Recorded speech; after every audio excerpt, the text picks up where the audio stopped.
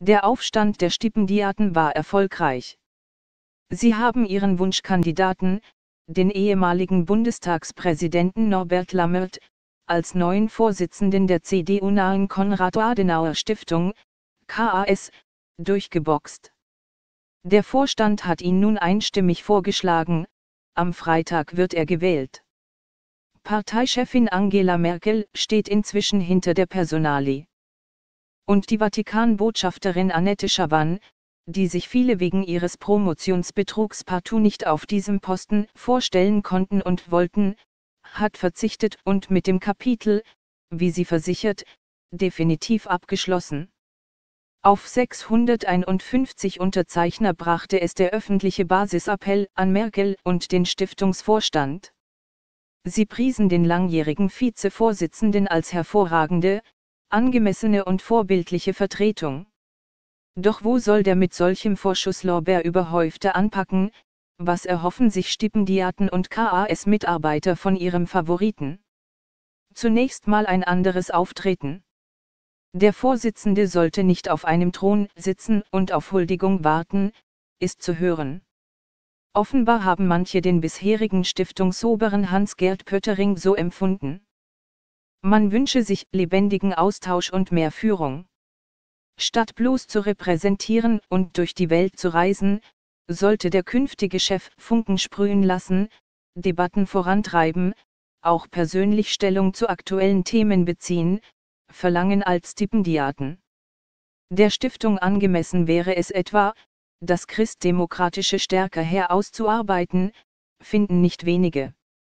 Was wollen wir, wohin geht die Reise, brisante Themen gäbe es genug, von der Abschaffung der Wehrpflicht über die Energiewende bis zur Migrationspolitik. Und in solchen Fragen dürfe es, so die offenbar nicht ohne Grund erhobene Forderung, weder Angst vorm Nachdenken noch vor dessen Ergebnissen geben. In der Vergangenheit habe sich die Stiftung zu wenig an den großen gesellschaftlichen Debatten beteiligt, klagen auch Mitarbeiter. Die Bertelsmann Stiftung liefere zwar tendenziöse, aber viel diskutierte Studien.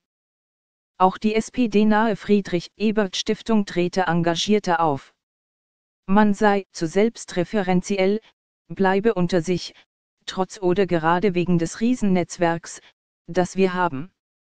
Viele Publikationen seien zu abgehoben, die Autoren immer die gleichen. Wir sind zu behäbig, da muss mehr kommen. Bei der Frage, woran das liege, verweisen Kritiker auch aufs Personal.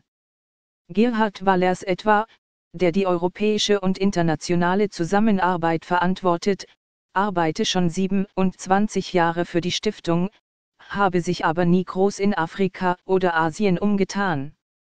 Melanie Piepenschneider, seit 26 Jahren dabei und für politische Bildung zuständig, richte den Blick aufgrund ihrer akademischen Biografie zu wenig über Europa hinaus.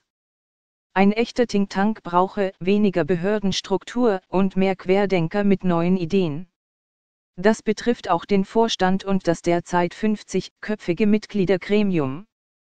Die Spitze müsse verjüngt werden, lautet eine vielfach gehörte Forderung.